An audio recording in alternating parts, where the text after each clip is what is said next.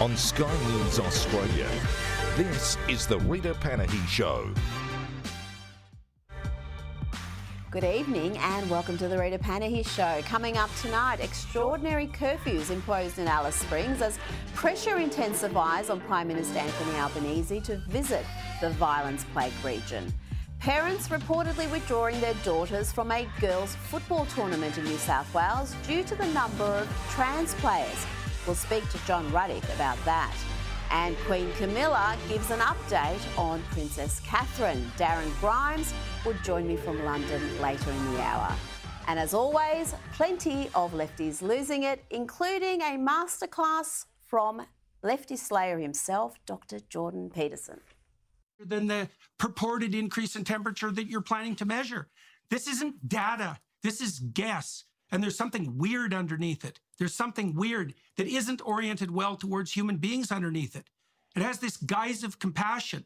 Oh, we're going to save the poor in the future. It's like that's what the bloody communists said. Let's jump into today's big stories with Sky News contributor Prue MacSween. And Prue, let's start with those scenes in Alice, Alice Springs, we've had uh, just uh, terrible scenes of violence, prompting a mm. curfew for minors under 18s will be forced off the streets at night to help put an end to the violence and riots we've seen in recent days. And this violence really has plagued Alice Springs for months now. And the Northern Territory Labor government is desperately, Prue, trying to stave off calls for a federal takeover. Well, Rita, it's demonstrated over the years that it's incapable of handling this, of fixing this, and so has the Albanese government. What did he do? He he was forced, virtually embarrassed, into flying in to try and uh, fix it, and he lasted what three or four hours. Didn't even bother to go and meet mm, with you know the exactly. people involved. Threw some million dollars at it and hoped it would go away. You know, this is an entrenched problem, and until people make some hard decisions and face the facts, throwing money at it is not going to help. What we really need to do is, in the short term, I think, get the ADF up there because the police just haven't got, there aren't the numbers up there to be able to cope with it. But they have to look at the greater problem, and that is that there are children living in homes where it's dangerous. So they roam the streets, they're influenced by um, alcohol, whether it's be from their parents or themselves consuming it from an early age. There's violence. These kids need some sort of help. And to me, I think David Littleproud, the Nationals, came up with the idea of, of developing youth camps where they could actually give these kids a purpose in life, take them somewhere in the Northern Territory, and I believe there are some youth camps there now, there's a couple of them, where they're given skills, they're given a home to live in that's safe, welfare, health checks, all the things that kids need that every child in Australia deserves to have. And, and yet we tiptoe around the sensitivities because of the stolen generation. So people don't want to confront what, the reality of what's going up, the, uh, uh up, up in the Northern Territory. Well, yeah, what you just suggested is hugely controversial because it would be, uh, in the minds of many, another stolen generation, um, mm-hmm. even though the intentions here are to, to help these kids and not have them in this cycle of violence and unemployment. I spoke to Jacinta Nampijinpa Price last night, Prue, and she explained what's happening in Alice, Alice Springs as far as the the nature of uh, retribution, payback, sorry mm. business, and it's a large part of it that I guess many people yeah. don't understand if you're if you're not familiar with the culture like Jacinta Price is. Um, a young man lost his life in a car accident, and others in the car uh, ran away allegedly, and now there is payback happening in the community, and, and that's part of some of the violence that we're seeing. Um, it, it really is such a terrible situation, and you're right. The Prime Minister did go there the last time this became national news. He only stayed for a few hours and mm. flew back to Melbourne to go watch the tennis. It's unbelievable, Rita, isn't it, when you think about it, because it's such a political hot potato. And I feel that you know they're they're really doing the wrong things. It's blind justice that they're talking about we wouldn't do this to a white kid. A white Australian kid would not be left in harm's way. And and and sadly, we're just turning our backs on this these Indigenous young people who deserve the life that every other child in Australia has. It's really tragic. Now, we had uh, NT councillor Gavin Morris on Sky earlier today, and he had this to say.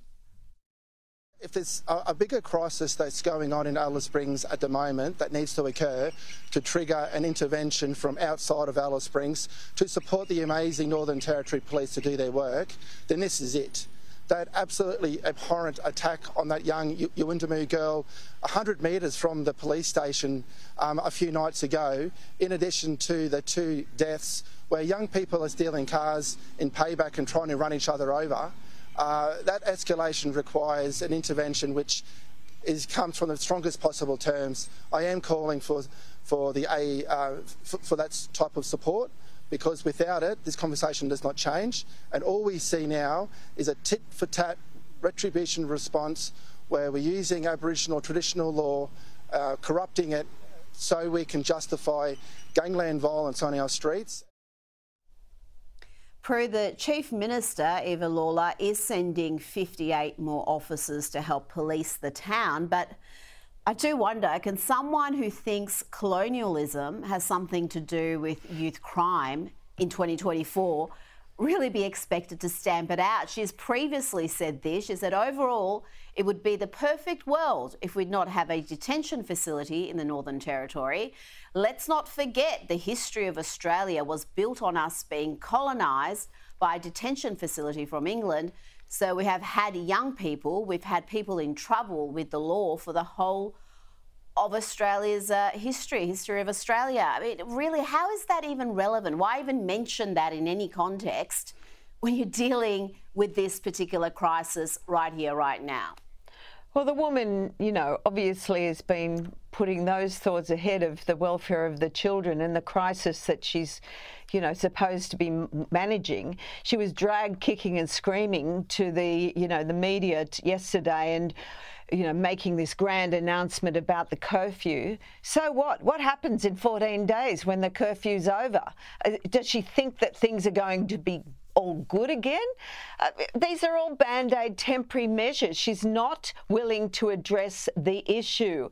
And any woke thoughts that she may have is again contributing to the issue. She should be moved out of the position. I, you know, you'd normally say bring the feds in to take over, but the feds are just as inept. inept. So, you know, we're going to have this ongoing problem until someone like a John Howard did with the intervention come in and try and help solve the problem, but no one's brave enough to do it. Let's move along to the front page of the Herald Sun today. Again, it's the AFL drug saga, the latest AFL drug saga. We're finding out around 100 current AFL players have secret immunity from the league's three strike drugs policy. Players who confessed to having taken drugs in the days before AFL games were allegedly given off the books secret drug tests to ensure their systems were clear or were advised to fake an injury to avoid a matchday test, which, if positive, could see them suspended for an extended period of time. Prue, this is something I've been writing about for years, I think well over a decade. The AFL may remain defiant and say they've done nothing wrong, but their illicit drug code isn't about exposing drug use or even stopping drug use. It, it is a brand management exercise to hide illicit drug use. It was always going to end in tears, and uh, I think we're there now. We certainly are. You know, the arrogance and sense of entitlement of the AFL is astounding. To think that an employer would snub their nose at OH&S regulations you know, is just beyond belief. They say they're committed to the well-being and welfare of their players. Well, that's absolute baloney. They're treating their players as a commodity, just useful, disposable livestock, clearly, uh, just for the good of their game, their egos. Uh, it's just astounding, and I, you know, I think that thank goodness there's been this whistleblower doctor, and let's just hope that mm-hmm. someone comes in and makes sure that they you know this kind of behaviour is not condoned and not practiced anymore. You know, it's it's a scandal. Now, uh, bad news for Qantas shareholders. Uh, their brand value has dropped some 384 million in the past 12 months.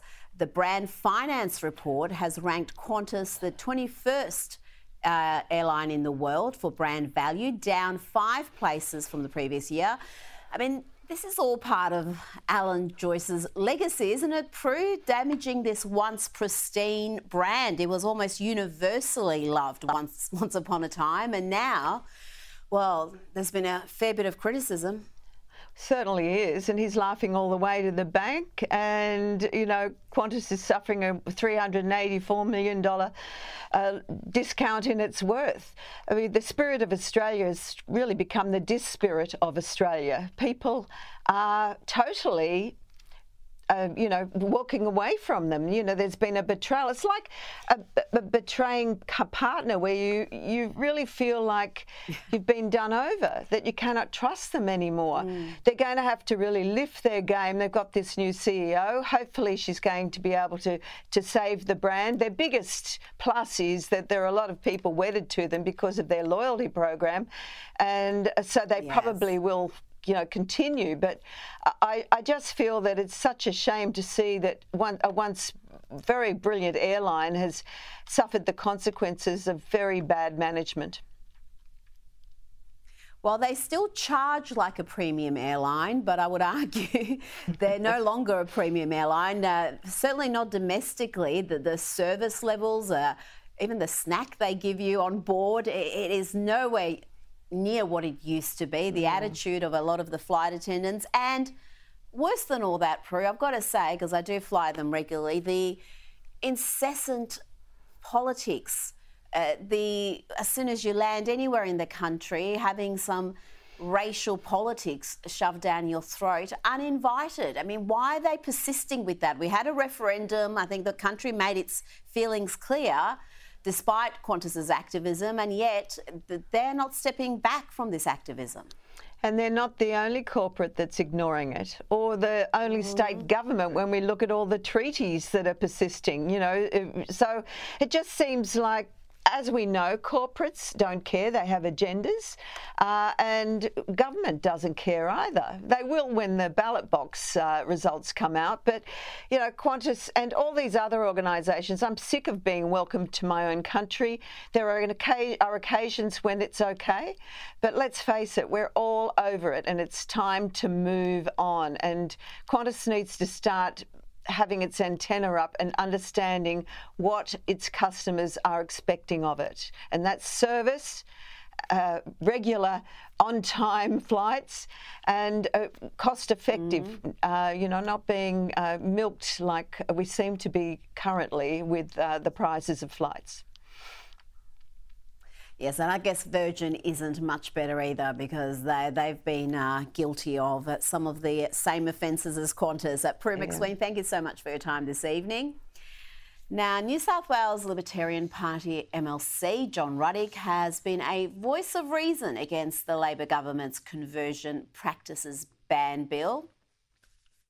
Trans conversion therapy is too often the new gay conversion therapy. Research conducted on thousands of gender confused kids in the 1980s by Canadian psychologist Dr. Kenneth Zucker revealed that if left alone under the watchful waiting approach, 89% of gender confused kids turned out to be normal, healthy, happy, gay adults. And that going through puberty is in many cases the solution to gender confusion.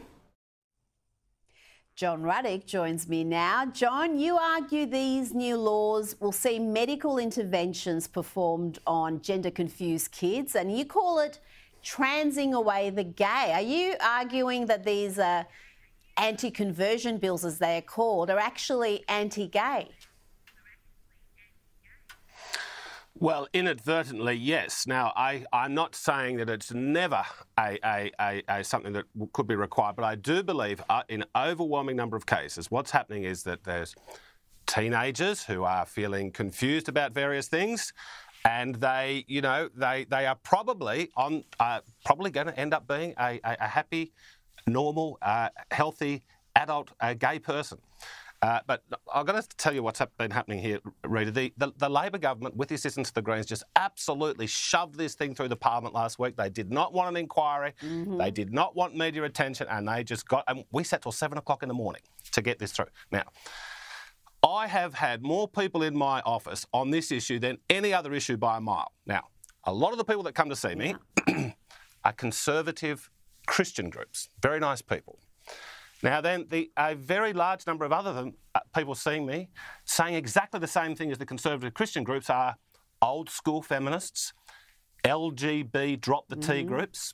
Okay, and these two groups, which yep. have never had anything in common in the past, conservative Christians, you know, you know, people who were out there, you know, you know, uh, uh, campaigning for, for gay, gay, gay rights reforms, etc., over the last few decades, they are both in complete agreement here. Now, one of the things that the LGB Drop the T group people said to me was, in fact, I've heard this about three times from them in my office. They said, John, thank God I didn't grow up as a gay teenager today because they would have transed me. Mm. They would have seen that, you know, I might have been a bit of a tomboy, I might have been an effeminate male, and they would have trans me. Now, now, I think that is happening. I'm not saying it's happening in every case, but I am saying I think it's probably happening in a majority of cases. So this is why we need caution on this subject. Yeah, and we, we've got caution around the world. Uh, it's astonishing that New South Wales does this uh, in the same week when you had the NHS in the UK ban puberty blockers for under 18s, and we're pretending none of that is happening and just uh, going right ahead with this gender affirming model and, and these. Uh, they, they, always give these bills great sounding names you could never disagree with. Anti conversion bill, of course, we're all against conversion therapy, but when you look at the detail, there's a lot more in there. Now, the world's uh, self-proclaimed biggest LGBTQIA plus women's and non-binary football club, the Flying Bats in Sydney, well, they've won every game they've played in the pre-season Beryl Ackroyd Cup tournament. Now, I can't be sure, but this may have something to do with it. They have up to five biological males in their female team. Some of them are around 30 years of age. Uh, they're playing against uh, women who are as young as 15. And the Flying Bats are, not surprisingly, winning games with huge margins, with one trans player scoring six goals in a 10 0 victory.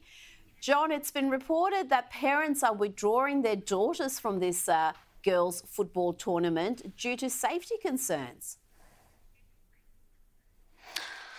Well, look, the Flying Bats was started in the 1980s as an explicitly lesbian female soccer team. Okay, and that took courage in the 1980s to do that, and good on them for that. What has happened over the last decade or so is that this this club has attracted trans players, okay, into the club, and now that the, the, club is almost half trans players. So they have this pre-season cup. Uh, the Flying Bats won every game, as you said. One of them they won at 10 0 and they won the final last weekend 4 0. Now, I put up on uh, Twitter earlier today, Rita, uh, four audios, uh, three audios. Somebody sent me a, a, the audio recording of a meeting that took place about 10 days ago.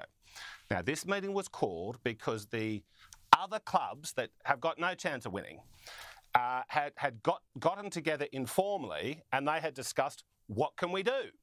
Some of these girls are getting badly mm-hmm. injured. They can't win the grand final, so sort of what's the point? So they got together informally about two weeks ago, and they, one of the options that they discussed was to boycott games against the uh, the Flying Bats.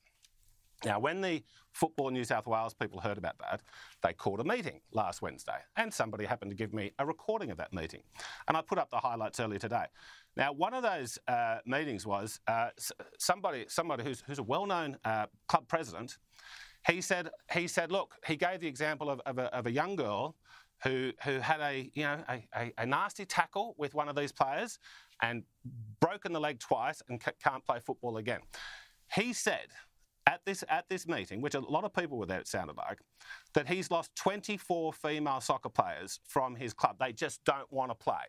So something's going wrong here. Mm. Now, you know mm. that the New South Wales Anti Discrimination Act, under Section 38P, it explicitly Why says are that they, why are they playing at all, John? are Why aren't these teams well. Look, pulling out, saying we are not going to show up to get beaten by players who've got a biolo- biological advantage, undeniable, and we're not going to participate in this. I mean, if you- don't have an opposing team, you're not going to have a competition. Well, the administrators last week at this thing at the, on this uh, audio that I put up, they were asked that question, and they basically they give a reply saying, "Oh, well, look, it'll be anti-discrimination if we say that these players can't play." That is not true. Section 38P of the New South Wales Anti-Discrimination Act explicitly says to sporting associations, if you do exclude someone over a transgender issue, it is not discrimination in the eyes of the law. That's what the law is at the moment, and you know, it might be changed later this year, hmm. but that's the law. So it's the sporting associations are doing it themselves. Now, if, if, if that is the view of the sporting association, I think it's only of the officials, the bureaucrats. Okay, I think how they can resolve this issue, Rita, is this: have a democratic vote of all the players and a private vote, a secret vote. And we just we, we let the players say, look, do we want to let these trans people play? And, and and if a majority says that they don't, well then they should be excluded. Now there might be some female sport soccer associations that say, yeah, no, we're fine with them. Okay, so let's let's work it out there. Oh, I don't agree, But, uh, John. I, think it's a I matter very- of fitness. I think it's a matter of fairness, and I don't think it should be down to a vote where people could be pressured, or you know, the teams who might have a few trans players vote yes because they know they're going to win more games. It's just a matter of biology. It's a matter of we've got there's a reason why we have men and women's competition and this shouldn't be something that is controversial to say male bodies should be playing in male competitions. Let's not forget we had the Matildas not that long ago, the women's national soccer team. Uh, play an under 15 boys team from Newcastle, New South Wales, Newcastle, not the UK. They lost 7 0 to the under 15 boys from Newcastle. I mean, the, the differences between men and women are there, and to pretend they're not only disadvantages women. Before you go, I want to ask you about Argentina and Javier Milei. He's uh, kicking goal after goal as a president there. Sovereign bonds are hitting record highs ahead of the Easter weekend, and uh, he's taken a chainsaw to public spending, John, uh, and really ramped up a, a, a raft of pro-investor measures. Uh, what can we learn from, from him? Local economists there are saying the markets are celebrating. He's only been there a short time. I know I don't want to prematurely uh, celebrate the results, but it's all heading in the right direction. Inflation is down, investment is up. Well, Rita, you asked, what can we learn from Javier Milei? And I've got a one word answer everything. We can learn everything from Javier Milei. now, we have uh, right of centre parties, and we have right of centre parties in the English speaking world. They talk tough in opposition. You know, Joe Hockey and Tony Abbott talked tough about budget repair. Boris Johnson was, you know, was much better in opposition. Now they come to power and they're so weak. Now, Javier Milei is not a politician, he's a, he's a lifelong economic, economist and academic. Now, he has come to power with 56% of the vote, and he is not mucking around, Rita. He is getting on with the job. He's a man on a mission. Now, Javier Milei and his supporters like myself did warn before he was elected. We said, if he wins, things are going to get worse for two years because that's what happened with Reagan and Thatcher when they brought in much more mild reforms, very good reforms, but nothing as good as Milei. And the British economy under Thatcher and the uh, uh, American economy under Reagan both had both had a bad two years, and they were very unpopular in their early part. Now they said, "Look, we've got a sick economy. We need to give it some tough love, some tough medicine, and it's going to not feel great at first, but then we will rebound with strength." And that is precisely what happened in the United States and the UK in the 1980s. Now, what's happening with Milei, to our surprise, is with all these these blockbuster reforms and just not mucking around. What it's done is it's told the international community, the investors, they say, look, Argentina is a hot property. And so, to my very pleasant surprise, Rita, It is. things We've are run out of improving time, much John, quicker but than we I will. expected they would. Absolutely, and I'm sure we'll be talking about Javier Milei for uh, many months and perhaps years to come. John Ruddick, thank you so much for your time this evening. And don't go anywhere, I've got a snake hunter on set next, and he's brought in a deadly snake. I don't know why, because that deadly snake almost killed him recently. And of course, lefties losing it.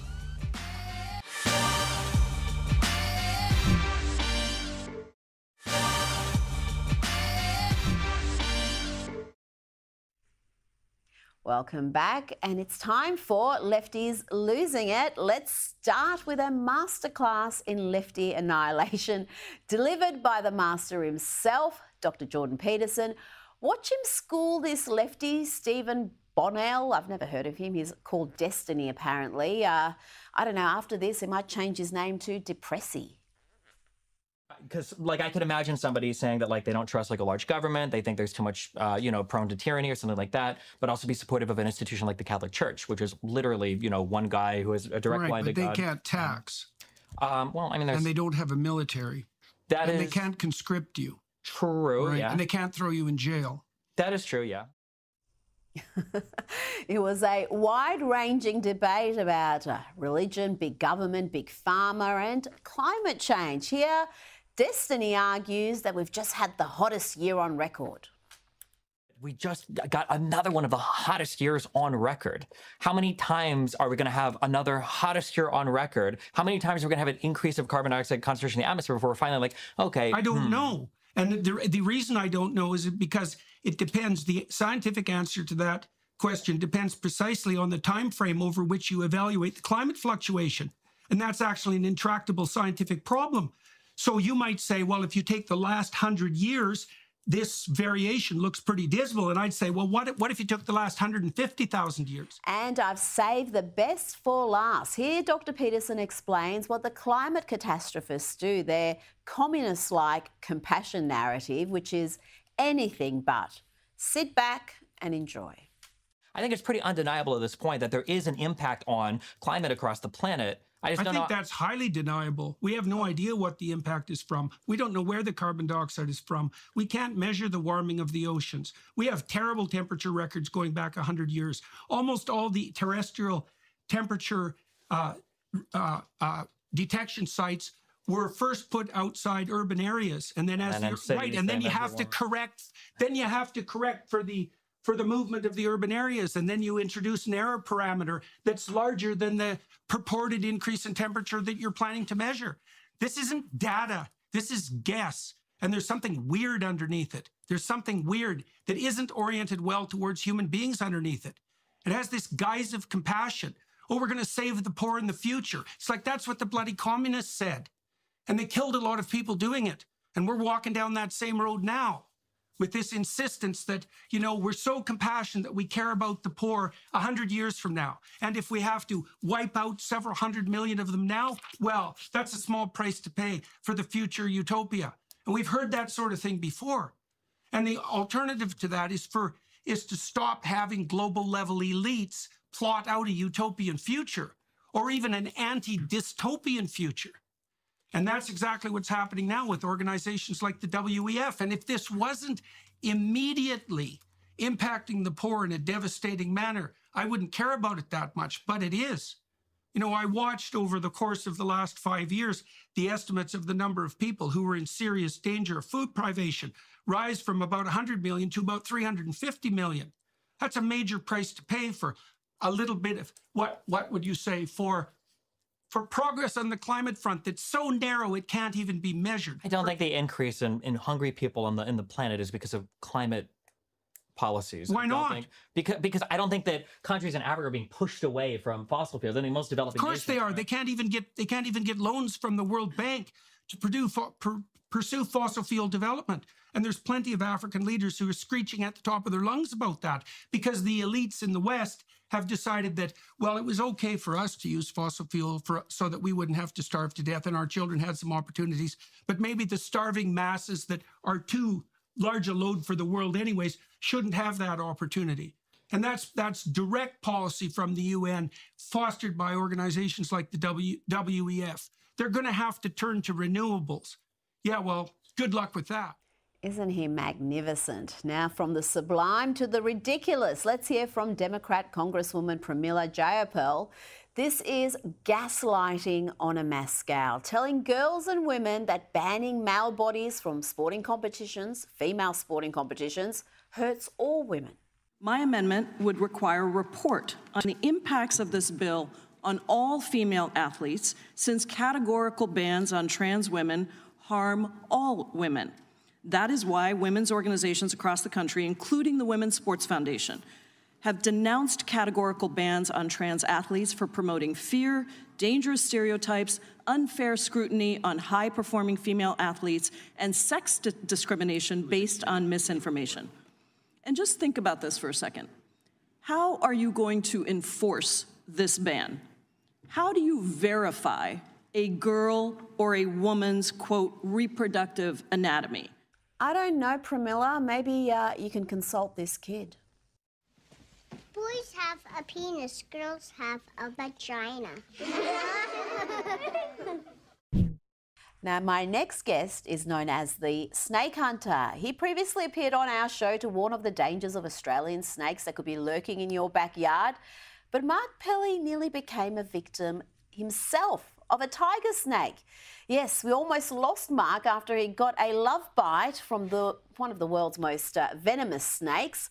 But he has made a miraculous recovery and he joins me now with a highly venomous tiger snake. You brought in the snake that almost killed you. Why? Why? I want people to see how dangerous they can be, but also they only bite you when they're picked up or harassed in some way. So if you leave snakes alone, they'll leave you alone too. Well, you can't leave them alone because your job is to go and pick them up and, and take them out of people's property. What happened? Because you would have handled probably hundreds, thousands of dangerous snakes in, in your years. How did this one get you? The routine call out like every other day and multiple times a day. This time, however, I had an equipment failure and the snake was quite large, very big, very fast, and it got me on my hand just here, and it really, really hurt at the time. Wow. And you you would think if you got bitten on the hand, you know what the snake is, uh, you would recover very quickly. You get some anti venom, but you almost died. How how does that happen? So most of the time, almost all the time when a snake bites you, the venom travels through your lymphatic system. Yeah. I was one of the very rare cases where the snake actually bit me on a vein on my finger, Oh, and the venom traveled straight to my circulatory system. So it went to my brain and my organs very, very quickly. And your daughter was there, and she said she thought you were gone. Um, and there was a bit of confusion with the antivenom because I'm looking at this tiger snake, and I would swear that's a brown snake, but it's a tiger. And I think they were trying to give you brown snake antivenom. Uh, so, how does that work? If you are bitten by a snake, how important is it to know what snake you've been bitten by? It's actually not important to know what snake you've been bitten by, but in my case, I knew exactly what it was being a snake catcher. My daughter also seeing the snake, and she's a snake catcher as well. So if you're bitten by a snake, don't try to capture it and try and bring it into hospital or try to identify it because they can do a venom swab test or they can just give you both antivenoms. Okay. In my case, however, I was bitten by a tiger snake, and because the venom went straight to my blood, um, I was feeling the effects very fast.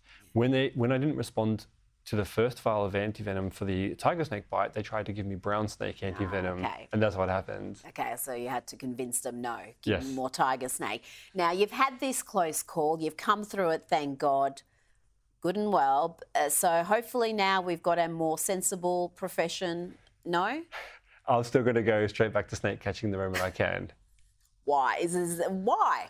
Well, I believe snakes play a very important role um, in the environment, and someone's got to do it. If I don't go around catching snakes, then people will try to kill them. And when I was in hospital and I thought I was actually going to die from the snake bite, my final message, where I couldn't even open my eyes to the community, was to still keep um, away from snakes and leave them alone and get a professional snake catcher to come out. I was afraid that my, you know, being bitten by a snake would cause people to try and go after them themselves. Now your daughter um, documented your recovery, but she noted that you were copying a fair bit of hate online. Why? you're never criticized by those doing more than you in life. and True. I also have the saying, and Dave Chappelle said it best when a, when a hero stumbles, cowards rejoice. And the very few people who had something nasty to say, it's a reflection of themselves rather than me.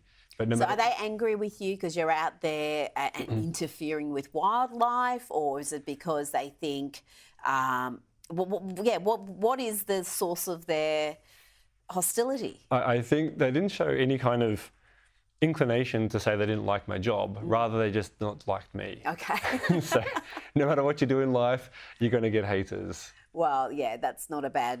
that yeah, that, that is true. Now, if you were bitten by a snake, if you're out, I don't know, bushwalking, and and you're not close to a hospital or medical attention, and it is something like a tiger snake or a eastern brown, something deadly, what do you do? Uh, what is the thing to do to maximise uh, your chances of survival? Absolutely. The first step you take is you step away from the snake. Don't try to touch it. Don't try to handle it. Move away because it can no, bite no, you more than once. already, Oh, so you, you don't want to get bitten more than once? Absolutely. It can bite you a second time. I didn't even think of that. Yeah. once you're safely away from the snake, immediately call triple zero. You need medical help as soon as possible. Yeah, but what if you, you're somewhere remote? So eh, should you walk towards safety, or is walking actually something that's going to be counterproductive because it's going to the blood's going to course through your veins quicker? So if you have no help around you, it's better to walk to a position where you can get call for help mm. um, rather than lay there and let, let the snake venom take you out. So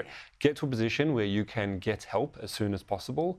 Once there, stay as still as you can and apply a pressure bandage and follow the instructions of triple zero. It's critical. Okay, so uh, get phone for help, but if you can't phone, then walk to somewhere where you can. If you're by yourself. If you're by yourself. But snakes, like you said, are typically scared of people. So if, if how how many are we losing on a typical year in Australia to to deadly snakes? Actually, not many for a very good reason. The message of leaving snakes alone is getting out there.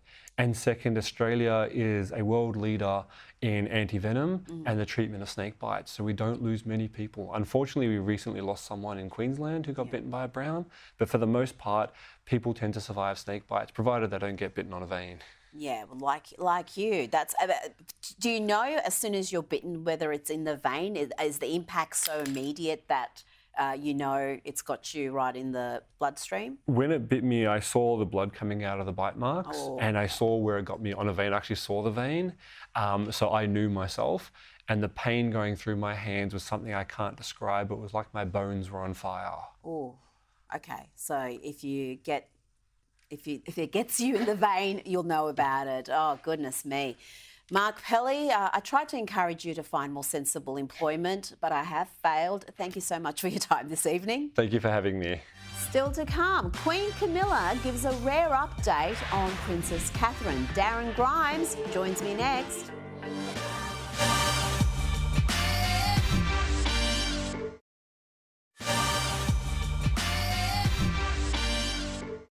Welcome back. Queen Camilla gave a rare public update on Kate Middleton's well-being during a visit to a farmer's market. She said the princess would be thrilled by all the kind well wishes and support. Hello. Oh, I shall send this to Catherine. Will be thrilled. That's it. Can I send this off? That's really kind. One? There we are. There we are. I know she'll be very thrilled.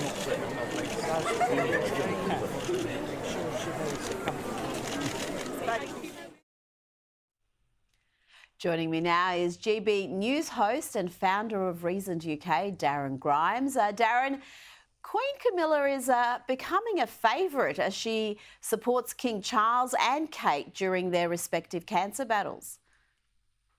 Absolutely, she definitely has. She's been a guiding light of that family. Even Prince William has had his struggles with her in the past. He, I don't think that's a, a, a secret as far as the royal court is concerned. But actually, they're closer than ever before. You know, Camilla has been working her socks off, uh, uh whilst the king and, of course, uh, the Princess of Wales are out of action. And uh, you know, a good friend of mine told me an anecdote of when he was on a British Airways flight when Camilla, but back then was still Camilla Shand, and he said that she was the most down to earth, a fun individual that he'd ever encountered on a flight, in a random flight like that. And I think she is just a very, very nice, genuine person. But she's been there at a time when I think the nation is feeling a really quite profound sense of, of sorrow towards uh, Prince Princess of Wales and, and King Charles.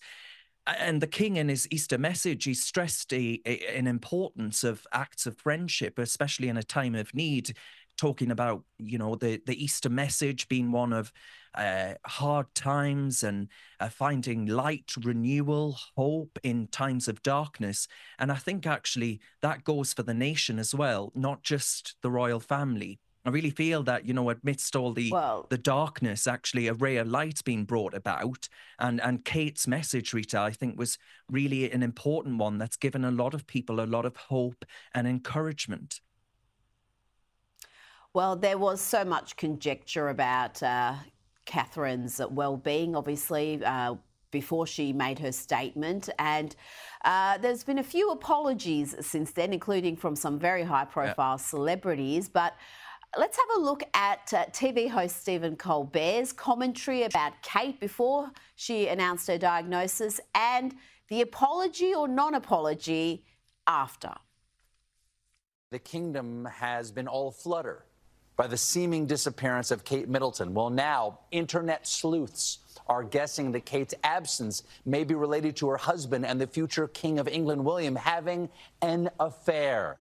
We did some jokes about that mystery and all the attendant you know, frou-fra in the reporting about that. And when I made those jokes, uh, that upset some people. And even before her diagnosis was revealed. And I can understand that. I mean, a lot of my jokes have upset people in the past. And I'm sure some of my jokes will upset people in the future.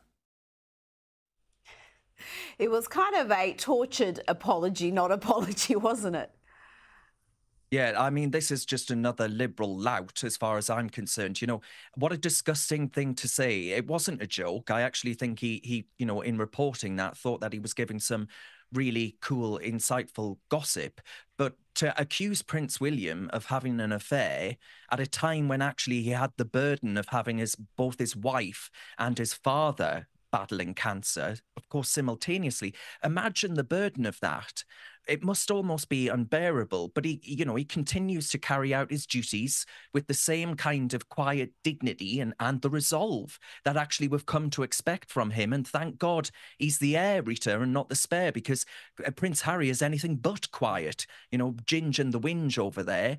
But he puts on a brave face in public, even as his personal life is is in utter turmoil. So I actually think for Mr. Colbert and others, the royal family have just said to hell with them. They've come together. There is a real show of unity and strength. And I think, uh, as we said earlier, Queen Camilla is a pillar of support for both Charles and Catherine. And I think that's a reminder that even in the face of pretty unimaginable adversity, I wouldn't be able to imagine myself in that scenario, having two loved ones going through the same disease but actually they're a beacon of, of resilience and fortitude. And that wasn't always the prediction, Rita, with this slimmed down monarchy that King Charles always wanted. Mm. But I think they're pulling through all right. I think they're emerging pretty strong and united. And that's even after Prince Harry and uh, Meghan Markle have done all they can to ensure that wasn't the case.